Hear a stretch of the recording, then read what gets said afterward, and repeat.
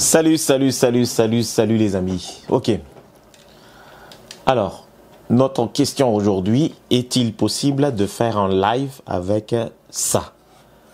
Avec ça, c'est une interface audio que je vais vous montrer aujourd'hui. Peu importe l'interface audio que vous allez utiliser pour faire un live, est-il possible sans avoir utilisé une table mixeur ou votre caméra, mais passer par cette l'interface audio que je vais vous présenter aujourd'hui.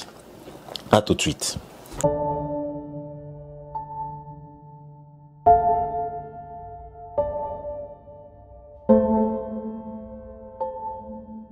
d'être là. Merci de m'avoir euh, suivi déjà, si vous suivez ma chaîne YouTube. Normalement, je fais et j'aide surtout une petite association, association ou une personne qui veut faire ou utiliser le Zoom YouTube. YouTube surtout parce que j'aime pas trop parler de Zoom. YouTube, Facebook, peu importe, dans une église. Donc, vous êtes sur le bon endroit. Alors, je vous explique. Tout ce que j'ai acquis depuis que j'ai fait de la photo et la vidéo, je vais partager gratuitement et ce n'est pas du tout facile. Aujourd'hui, je vais essayer de parler de mes équipements et les équipements que je vais commencer à partager avec vous, c'est le Behringer UMC Euphoria UMC 202 avec deux sorties, deux entrées, d'accord, deux entrées de XLR qu'on peut choisir instrument ou line et un écouteur et contrôle contrôle de moniteur avec l'accès le volume et derrière pour rentrer votre interface dans votre ordinateur et une sortie pour les balances et une euh, comment on appelle ça déjà alimentation fantôme de 48 volts. Là aussi vous avez le gain numéro 1 gain numéro 2 le pad pour atténuer le bruit et le retard et tout ça. Donc, vous n'avez pas besoin de euh, vous n'avez pas besoin de logiciel à part pour enlever tout ça. Mais nous, ce qui est intéressant avec ça, en fait, il est dédié pour un enregistrement d'une personne qui va faire un studio tout seul avec la guitare, avec le piano et un micro. Et ça suffit largement pour faire votre, euh, votre pour faire votre enregistrement en studio dans une maison. Il vous suffit d'avoir seulement quelque chose de très très basique parce que moi je parle de quelque chose de basique pour une église à chaque fois que je présente. Après, je vais essayer d'aller dans un, une des, des, des, équipements un peu plus chers. Donc moi j'ai opté pour un une casque Sony, Sony vraiment basique basique, hein, même pas 20, même pas 30 dollars que je vais utiliser. Et j'ai rajouté des une adaptateur pour avoir le son correctement comme il faut. Alors, ce que nous avons, nous aurons besoin aujourd'hui, c'est surtout, je vais essayer de récupérer ça.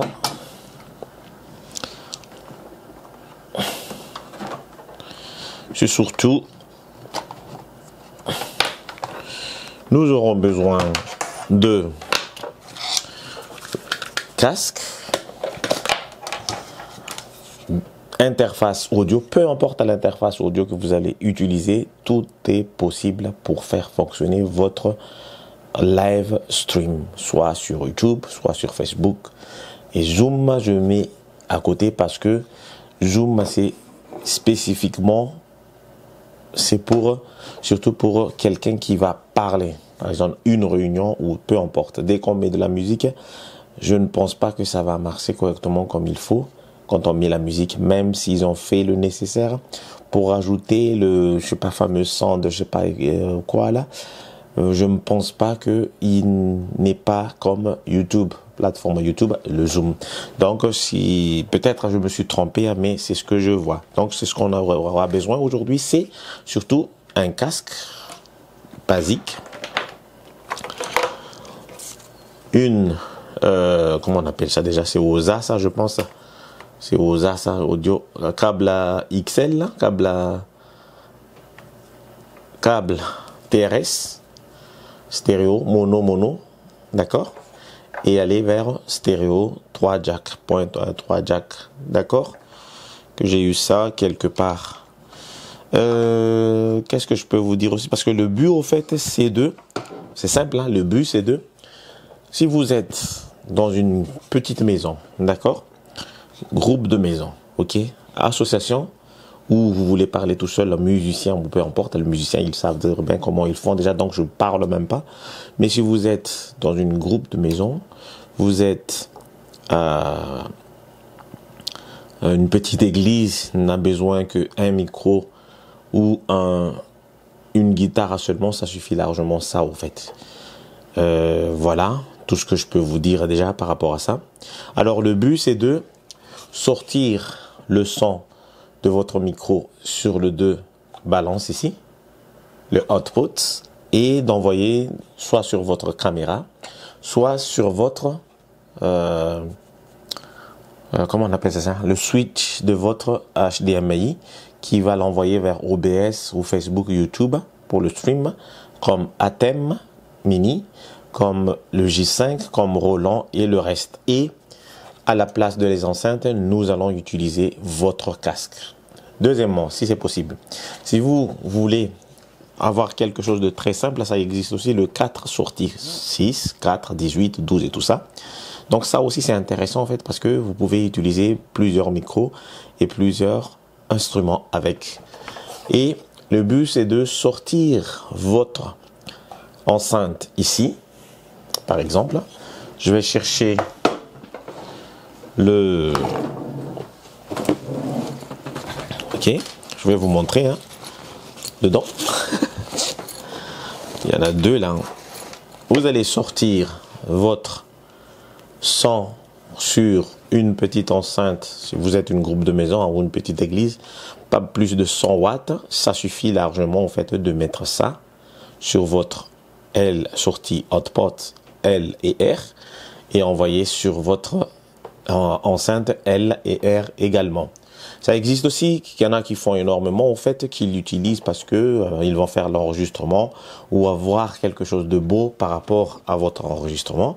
Il existe aussi une manière de le faire, d'avoir, parce que vu que le, les tables de mixage, un peu cher, les tables de mixage où il y a les sorties USB et tout ça. Donc, ce qu'ils vont faire, de utiliser une interface audio et de bloquer deux sorties. Deux sorties ici sur le line ou sur le insert, bloquer deux sorties sur le insert et d'envoyer ici au fait, envoyer là et de bloquer deux sorties sur le fader et d'avoir un bon son stéréo par rapport à ça et le USB, c'est lui qui va commander la table de mixage en ce moment-là. Mais c'est pas notre but aujourd'hui. Hein. Notre but aujourd'hui, c'est de vraiment faire quelque chose avec ça, avec un live stream. Nous allons pas, euh, je vais pas parler trop euh, longtemps. Hein. je vais, vous montrer comment ça fonctionne. Vu que euh, je n'ai pas de, bah, c'est installé sur XLR mes mes enceintes, donc on va pas utiliser ça. Juste, je vais vous montrer seulement comment ça va fonctionner. Alors, je vais vous répéter à nouveau. Hein. c'est simple. C'est simple comme dire bonjour. Ok. On va récupérer là le son du micro et de la musique, de, l'instrument. D'accord sachant qu'il va falloir savoir que si vous utilisez votre micro sur le 1, n'oubliez pas de ne pas encrocher ou enclencher le premier bouton sur le 1. Sur le 2, le 2, si vous utilisez l'instrument, n'oubliez pas de, il faut encocher le instrument. C'est à peu près comme ça. C'est pas comme le le Presonus euh, Audio Box euh, Go qui vient juste de sortir. Lui, il est intégré XLR Line et insert instrument. Et il y a un jack dédié complètement pour l'instrument. Ça veut dire que micro l'autre et instrument l'autre. Il est fait comme ça en fait. Et derrière, il y aura des sorties audio. Euh, ça coûte à peu près 100, 100, 100, 100 dollars. Mais là, c'est quelque chose de moins de 100 dollars que je vais vous montrer. Alors, c'est simple, hein. on va utiliser aujourd'hui un euh, Atem Mini. Atem Mini, hein. je vais essayer de euh, je vais essayer sur mon logiciel, et puis je vais faire un, truc vite fait. Hein. Je vais essayer sur mon logiciel de l'ouvrir, le ATEM euh, Software euh, Control. Donc il est ouvert, ok? Donc mon but c'est de récupérer le son. Hein. Tout est éteint, hein.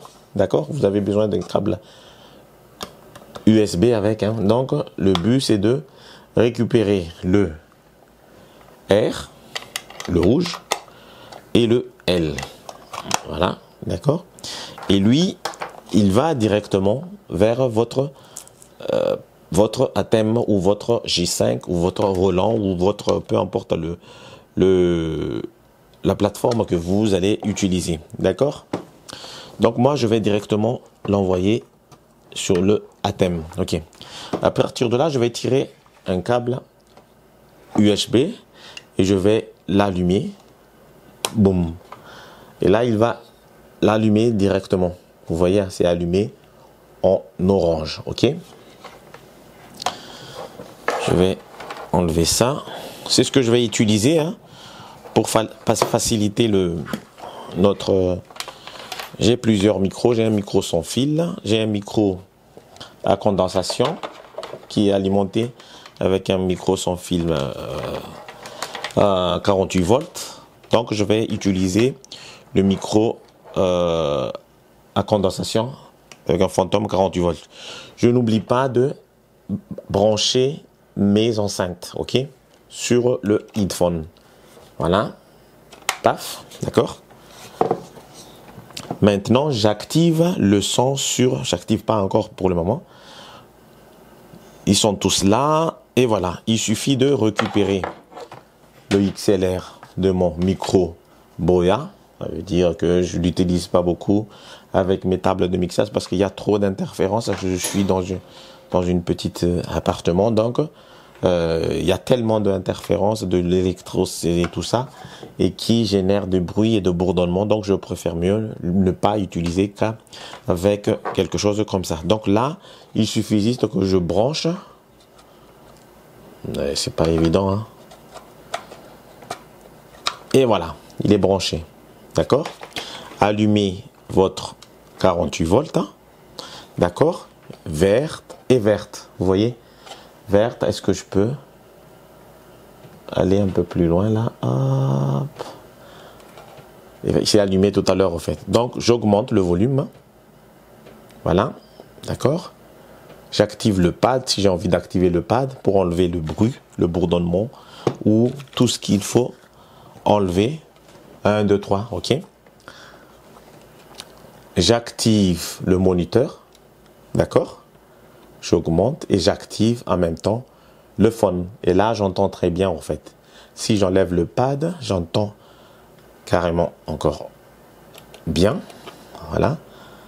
Si je mets le pad, j'entends pas du tout en fait. Alors, on va aller dans. Je vais euh, intégrer parce que euh, j'allume le son, hein. le son il est sur l'écran, mais vous ne pouvez pas le voir en fait. Donc je vais mettre ma caméra sur la thème, ok? Ok, ça fonctionne. Vous voyez hein, sur mon Crème, sur mon écran, hein, ici, l'écran, euh, le son il monte très bien. Vous voyez aussi sur euh, OBS que le son, il monte, mais c'est l'autre seulement qui fonctionne. Ça veut dire que ce soit le L, soit le R. Donc, il n'y a qu'un seul enceinte qui fonctionne, en fait. C'est ce côté-là, mais pas ce côté, pas ce côté-là, en fait. Alors, comment on va faire pour remédier à ça? Parce que, vu que ça fonctionne là déjà. Si j'ouvre Zoom, par exemple, je vais vous essayer de montrer. Hein. Je vais ouvrir Zoom, d'accord? New Meeting. OK?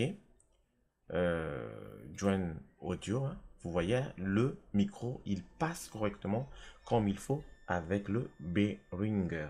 Donc, ça va fonctionner. Voilà, j'ai mis un in, un 2 Behringer UMC 2002 HD 192K. Et sur le sélecteur à speaker, j'ai mis aussi out un 2 Behringer UMC 202 HD 19 192K. Ok, ça, ça va, ça va fonctionner. Il me suffit de activer OBS virtual. Donc, zoom, ça passe avec le son. Mais il y a un souci. Pourquoi ce, le côté gauche seulement qui marche, mais pas le côté droite? Donc là, il va falloir aller dans l'application. Vous voyez, hein? là, vous voyez que sur l'écran ici, hein, j'ai activé le limiteur à moins 12, moins 10. OK. Ça, c'est bon. C'est à vous de l'utiliser par rapport au compresseur. Compresseur, ça veut dire, je ne suis pas un ingénieur de son, hein, mais euh, il y en a pas mal sur Internet, donc je vous laisse euh, faire pour augmenter le seuil, le ratio, il faut faire la table et tout ça. Donc, c'est pour ça que j'aime bien, au fait, euh, quelque chose. des fois, c'est intéressant de le rajouter, au fait. Des choses, c'est intéressant. Des fois, c'est pas intéressant, mais c'est à vous de voir. Là, je suis mis à limiteur, hein. moins 10, ok. Je vais mettre moins 10. Ah non, il est allé à moins 30. C'est pas possible. Hop. Moins 10. D'accord Vous voyez à peu près. Donc, les limiteurs, si je vais aller sur OBS, il va rester à peu près moins 10 au fait. Il ne dépasse pas. Il ne dépasse pas au fait. Il va rester là au fait. J'ai pas rajouté d'attaque. Mais ce qui m'embête un peu, pourquoi il n'est pas sorti sur les deux enceintes que j'utilise ici? D'accord Donc, pour remédier à ça, il va falloir aller. Donc, ça, c'est bon. Hein, aller déjà dans micro 1 ici, je vais rajouter un peu des fréquences à 50 et je monte jusqu'à 14 000. Juste pour ça. Après, c'est à vous de, faire le 3. Je vais essayer de monter. Ça va changer le champ. Hein. Le, le, champ de, de l'audio, ça va changer de si je baisse ou c'est à vous de voir où je vais laisser ici ou je vais monter un peu comme ça. Donc ça, c'est c'est à vous de jouer dans votre dans votre les fréquences. Il va monter de 803 c'est à vous de jouer ouais mail ou un genre de truc comme ça en fait. Donc là ça, ça me suffit. Alors pourquoi même si j'ai déjà ah c'est pas là qu'il va falloir en fait. C'est ici qu'il va limiter ok le euh, compresseur et les entrées vous voyez hein, euh, il est pas il est, il est en mono vous voyez. C'est ça le souci au fait. Donc comment on fait pour enlever ça? Je vous recommande des suites. C'est pour ça que j'aime pas le J5. Je sais pas maintenant parce qu'il vient juste de sortir deux sorties HDMI. Avec le, le Blackmagic, ils ont quatre sorties. Le 9, l'extrême et tout ça, c'est déjà beaucoup. Hein. Ce que j'aime pas avec Roland, le moins cher possible, c'est que ils utilisent les sorties audio avec le RCA. Allez, je vais couper le zoom ici. Je vais le couper le zoom parce que ça m'intéresse pas. Hop. Parce que vous voyez que ça marche déjà sur zoom. Hein. Juste le, son qui n'est pas vraiment... Euh, les deux n'est pas vraiment euh, au top. Alors, comment on va remédier à ça en fait? Donc, sur le logiciel là, de Atem Mini, il va falloir aller dans paramètres ici à gauche, à gauche ici, et de activer audio général là si vous voulez, on ne fait pas de jeux vidéo, donc c'est à 30. D'accord? Et audio, on va mettre deux sorties audio divisées. La générale aussi, hein, mais je touche pas line à line parce qu'on va utiliser ici le line, la sortie line, mais pas sur le micro intégré de votre. Ça dépend de ce que vous faites en fait.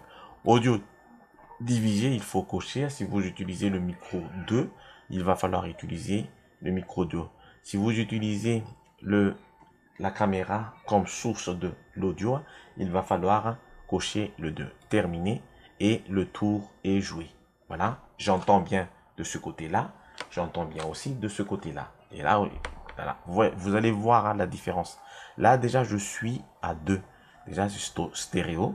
Et quand je vais aller sur OBS, le son, il est vraiment euh, au top. Je vais essayer de monter, descendre un peu comme ça, en fait, hein, parce que j'ai, il y a trop de bruit, il y a trop de bruit, bizarre, parce que je vais faire, euh, je suis en train d'enregistrer en même temps là, hein.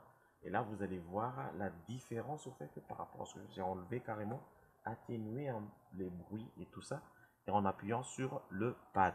Je vais augmenter un peu le monitoring, voyez, hein.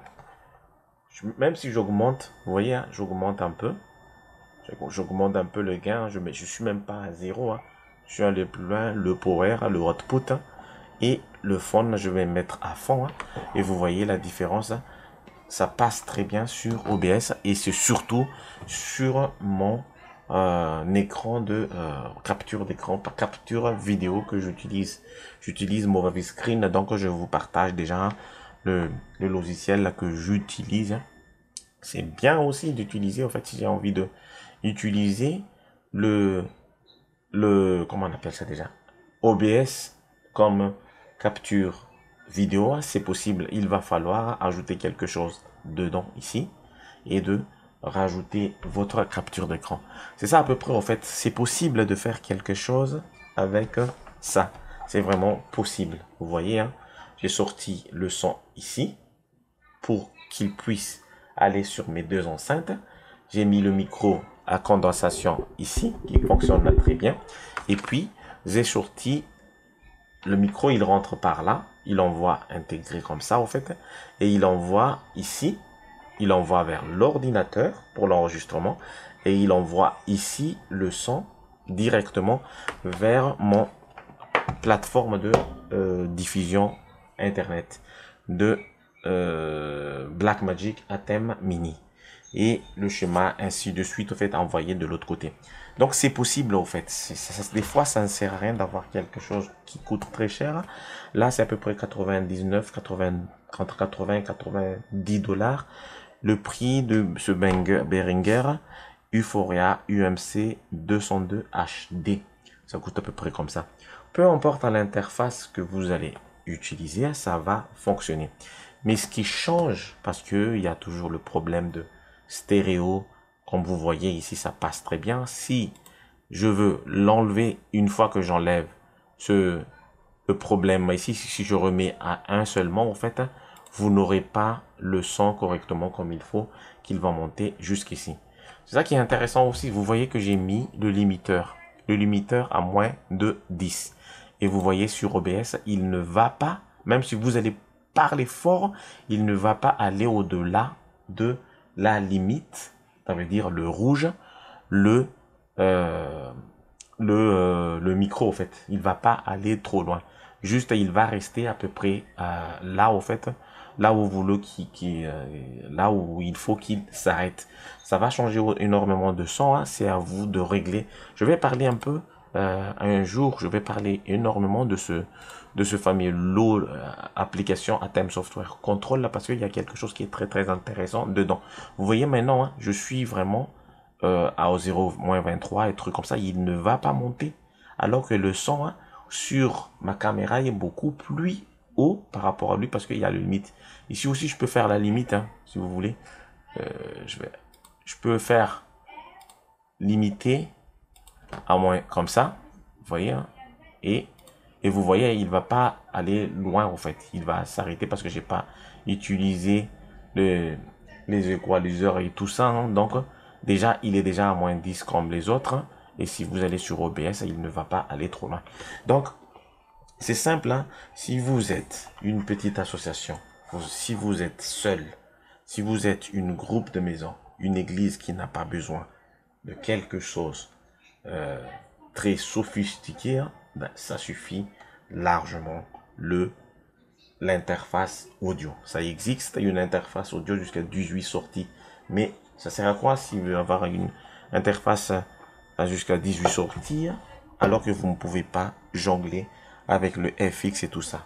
Donc, je vais vous présenter un Mackie FX, Mackie FX, Mackie FX, Mackie FX Pro FX 16 version 3. Je vais vous présenter aussi un Studio Live 12 RC de Presonus et un Behringer 1204 USB. Et vous allez voir, en fait, parce que c'est un 18 comme ça, ça coûte à peu près 1000 dollars. Et là, ça coûte à peu près 800 dollars le Studio Live ARC 12C de Presonus. Et ça coûte à peu près 600 dollars le Mackie euh, Pro FX 16 version 3. Et ça coûte 240 dollars le euh, Behringer euh, Xenix 1204 USB. Voilà à peu près ce que je peux vous partager aujourd'hui. Hein. C'est vraiment facile et basique. Juste, j'ai pas envie au fait de récupérer le son sur mes ancêtres, mais j'ai envie de vous montrer c'est possible. Hein. Si vous avez une petite glisse, de renvoyer votre balance directement sur les enceintes que j'ai ici. J'ai un pressionniste 3,5, vraiment petite, hein. Mais vous avez besoin à peu près d'un 100 watts. Là, j'ai que ça fait 25, ça fait 50 watts. Vous avez besoin d'un 100 watts. De sa côté, ça fait 200 watts si vous avez une petite église. Si vous êtes une groupe de maison, ça suffit largement 35, 25, 40 watts de chaque côté ou 40, 40, ça fait 80 watts. Et de récupérer le son ici. En ce moment-là, la sortie vers Athème, il faut récupérer sur le headphone. Ça veut dire que le son, il sort ici. Par contre, pour aller dans votre caméra, parce qu'on parle de caméra là, donc on parle de Athème J5, on parle aussi de Roland pour, la vidéo stream. Donc, le son, il va sortir de votre headphone et aller dans le micro de, de euh, euh, comment on appelle ça, de Athème. Alors, peut-être vous allez me poser une question. Pourquoi on n'utilise pas la caméra de la vidéo, l'audio de la caméra, parce qu'il y a un HDMI là. Et vous voyez très bien sur l'écran que il fonctionne très bien. Quand j'ouvre Athème Mini, il peut prendre aussi, hein, il peut prendre dès que j'appuie sur euh, sur un micro de la de la de la de la caméra par on, il va marcher. Alors, le souci, c'est que j'ai une petite mix ici. Ok, c'est pas un GA5, c'est pas un GA6. Donc, l'HDMI, ça passe avec un adaptateur de micro HDMI vers un HDMI. C'est à peu près comme le GoPro 8, 7, 8, 9 ou 3, 4, 5, 6, 7, 8, 9, 10 black. C'est à peu près comme ça, au fait. Micro HDMI. Donc, le son, il va changer par rapport à la... Pour moi, hein, par rapport avec le euh, micro HDMI vers HDMI. Alors, ça veut dire aussi que j'utilise un micro sans fil de Wireless Go de Rode. Vraiment, il y a la qualité. Mais je me méfie. Je vais en parler aussi avec ça, au fait, parce que si jamais vous n'avez pas des micros, parce que là, j'ai pas mal de micros. Hein. J'ai un micro sans fil, j'ai un micro que j'ai acheté presque 15 dollars de Fifine, et ça marche bien. Hein. J'ai un Boya que je ne peux pas utiliser avec mes tables de mixage, parce qu'il y a tellement de, de courant à côté, il y a la lumière et tout ça. Donc, lui, il ne prennent pas, il, il, il met, il met énormément de bruit et de bourdonnement. Donc, c'est pour ça que je l'utilise pas avec mes euh, tables de mixage. Et alors, c'est à peu près par là. N'oubliez pas de activer votre pad. Voilà. Là, déjà, je l'ai enlevé parce que si je le mets, il y aura des euh, énormément de bruit, en fait. OK? Si vous utilisez les instruments, il va falloir appuyer sur instrument et laisser l'autre sur euh, micro et activer votre moniteur, votre phone, augmenter les volumes et ça va fonctionner comme il faut. Vous avez vu déjà ce qui est passé sur Zoom tout à l'heure. Là, je suis sur OBS, je suis sur Atem Mini, je suis sur OBS, je suis sur Movavi Screen, et je suis aussi sur Zoom, Microsoft Teams, Skype, tout ce que vous voulez, on peut paramétrer avec votre interface audio. J'espère que ça peut vous aider ce que je suis en train de vous parler là, parce que c'est énormément de problèmes au fait. Il n'en parle pas assez. On parle seulement que c'est possible et les gens ils ne montrent pas, même si vous suivez de tutoriel aux États-Unis ou tout comme ça, il ne vous montre pas comment on va faire pour activer ça, de ça à ça, pour récupérer votre son vers, envoyer vers votre caméra. La prochaine, la prochaine étape, on va essayer de rentrer en détail comment on va récupérer le son de votre euh, table de mixage pour aller dans Athème pour avoir une bonne fluidité de son pour votre live en direct. C'est vrai qu'il y a toujours un retard. Le retard, on peut jouer déjà avec un filtre chez OBS. Par contre, euh, je ne trouve pas dans dans s'il y a un délai. Il y a un délai dans dans, dans Software Control. Alors, c'est pour ça que dans ma scène, j'ai essayé, dans ma, chaîne YouTube, j'ai essayé de parler sur l'introduction de montage vidéo. Parce que c'est possible, en fait. C'est possible, vous voyez là. Hein. Là, je vais mettre à côté ici. C'est possible de paramétrer le retard. Le retard de votre vidéo et de votre audio. Si j'ai envie de monter, par exemple, peut-être ça peut y aller. Et ça dépend de ce que vous faites, au fait. Donc, il va falloir enregistrer avec un tap comme ça, en fait, et de ramener votre euh, enregistrement avec la tap vers une Premiere Pro ou peu importe votre logiciel de d'enregistrement. Et là, vous allez comprendre, vous allez compter avec le timeline de votre montage de vidéo de Premiere Pro ou peu importe et de récupérer où, où est-ce que vous avez fait tac ou un tac. Et là à partir de là vous faites 1 2 3 4 5 ou 6 ou 7 secondes.